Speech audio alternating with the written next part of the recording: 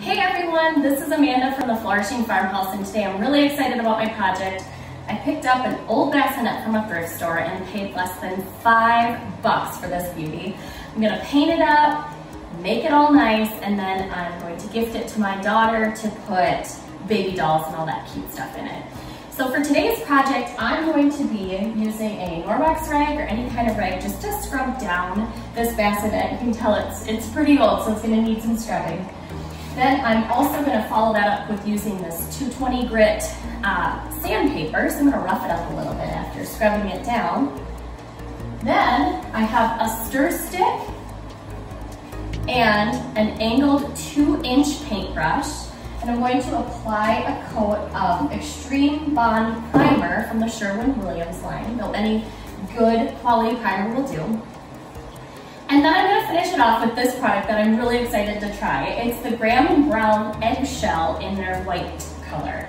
So this is gonna be finished off with a nice, beautiful coat of white paint. Again, this is the Graham & Brown line, which I'm really excited to try. So my first step as mentioned before, is just gonna be to scrub this beauty down. So I'm gonna go ahead and get started and I will fast forward through this.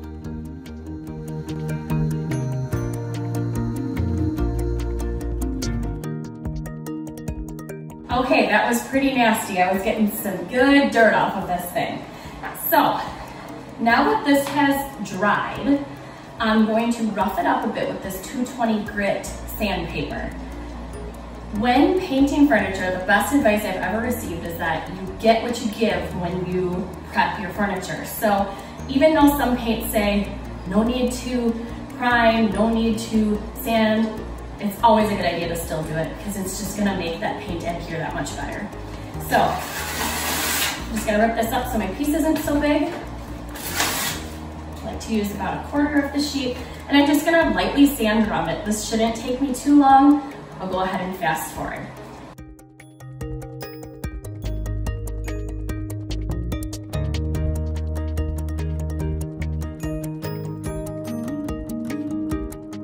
Okay, and now that I roughed it all up, I'm gonna go ahead and take my cloth. This is a microfiber-ish rag. It's the Norwex line. And I'm gonna wipe this off again to get that dust off. You don't want dust on it when I apply my first coat of paint, or in this case, primer. So I'm gonna wipe it off and I'll fast forward again.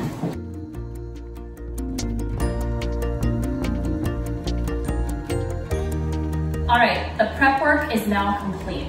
My bassinet is now ready for primer. Again, I'm using the Sherwin-Williams line and I use the Extreme Bond Primer. It is by far my favorite, though there are a lot of other great high quality options out there. So I'm gonna pry open my can and I'm gonna start applying. I really only need a very thin, thin layer. So opening the can.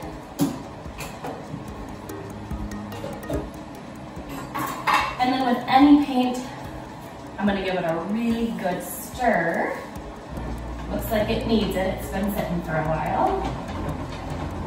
And then I'm using this two inch angle brush. Angle brushes are my favorite, especially when I have the detail of all these really gorgeous spindles in my piece of furniture. All right. Stir. And let's start applying some paint.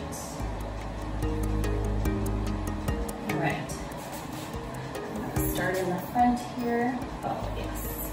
I love that I, I make a lot of white furniture, so even this little coat of primer, I can kind of get an idea of what this is gonna look like. I'm really gonna be taking this piece of furniture to the next level. I'll go ahead and fast forward again.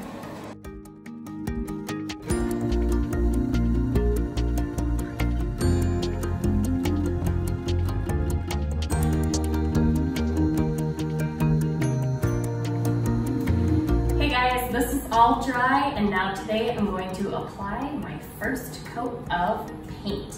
Again, I'm using the True White color from the Graham & Brown line.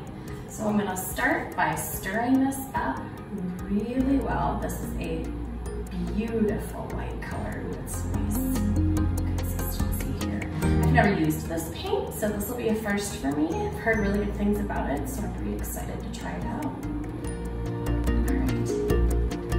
All stirred up. And then today, for the actual painting, I decided to switch my brush. I was using a two inch yesterday, but today I needed it to be a little bit more precise. So I'm switching to, where did I put it? I'm switching to a one and a half inch brush. It flew away though, so, oh, it's actually right here by the camera. Look at that, right here. So one and a half inch brush for today. So I'm gonna go ahead and apply my first brush strokes and let's see how they go on.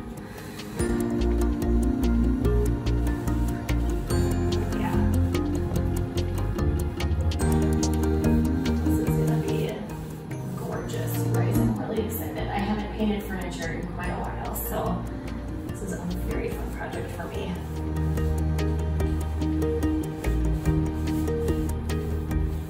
Nice even brush strokes, this is going on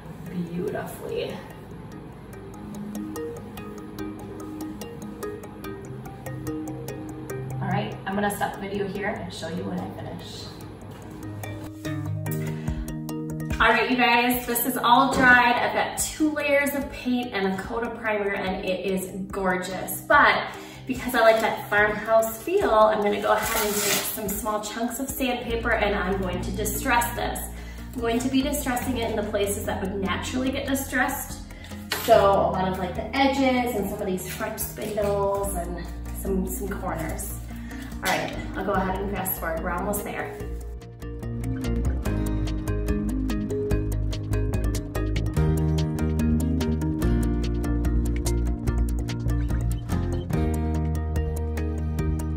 That's a wrap on that project. Again, I used the Graham & Brown paint in the color white. It was an excellent product and I would highly recommend it. I hope you guys have a great day. I'm gonna go ahead and stage some photos so you can see my end result. Thanks for joining me.